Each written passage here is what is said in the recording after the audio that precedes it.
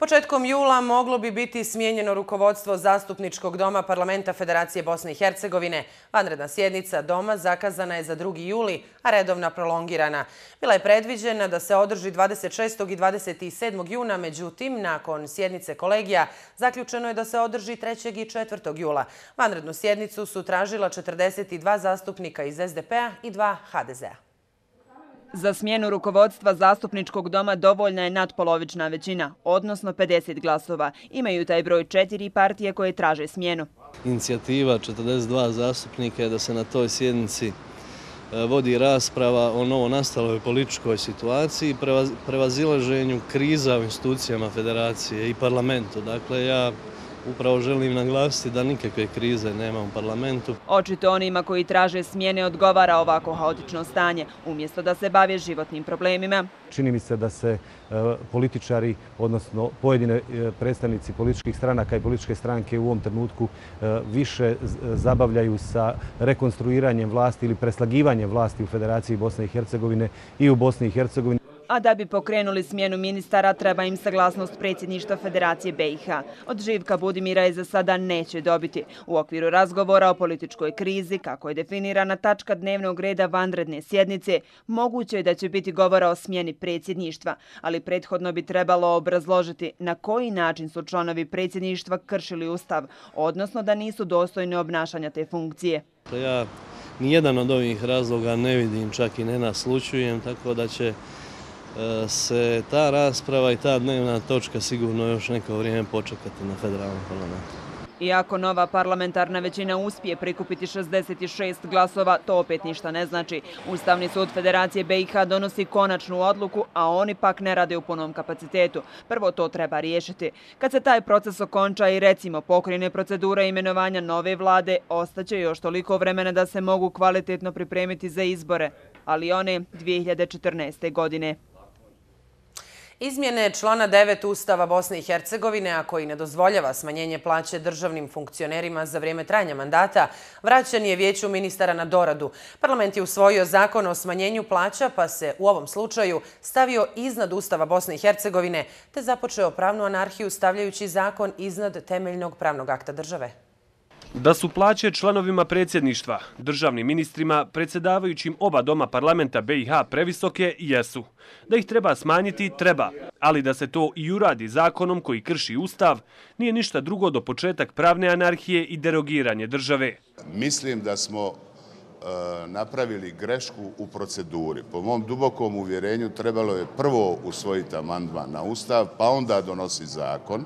Aj nađite vi jednog političara koji će pokrenuti pitanje na Ustavnom sudu toga i to se dakle primjenjuje, apsolutno neće biti problema u primjeni, a usvojit će se i ovo nakradno jer je u pitanju amandman 1, amandman 2. Što se mene tiče, ja ne znam nijednog od kolega poslednika koji će pokrenuti pitanje ustavnosti toga. Apsolutno nije važno da li će neko od ministara ili članova predsjedništva pokrenuti ocjenu ustavnosti ovog zakona. Važno je to što se napravio presedan na osnovu kojeg je moguće ići u nove presedane, nenužno i korisne za državu. Cilj je bio da stvorimo ambijent da nema nikakvih ograničenja kad su pitanje smanjenje plaće ni sadašnjim članovima našeg doma jednog i drugog. Amandman na ustav, odnosno ustav, treba izmijeniti u smislu eliminacije zabrane smanjenja plaće funkcionerima u toku trajanja mandata, samo da bi se stvorio ustavni osnov za ovaj zakon koji je već donešen. Ustav je temelj države sa kojim se usklađuju svi zakoni. Samo se u Bosni i Hercegovini Ustav može ovako derogirati da se on usklađuje sa zakonom što stvara potpuno novu praksu u pravnom sistemu.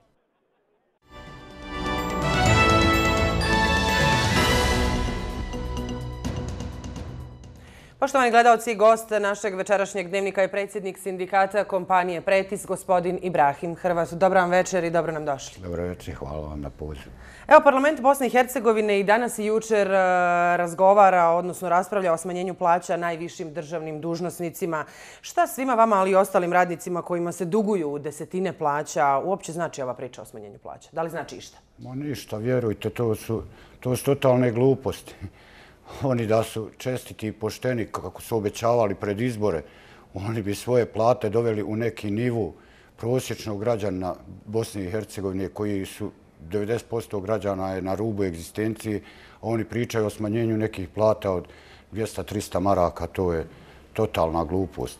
Mislim da ne, treba, ne trebamo mi time da se bakćemo, mi, mi trebamo da, da vodimo računa kako da njih otjeramo sa vlasti, mm -hmm. da, dovedemo, da dovedemo ljude koji će biti ljudi iz naroda, koji će se baviti narodom, onim koji ga je birao. Ovi se sad bave samo foteljama, vjerujte.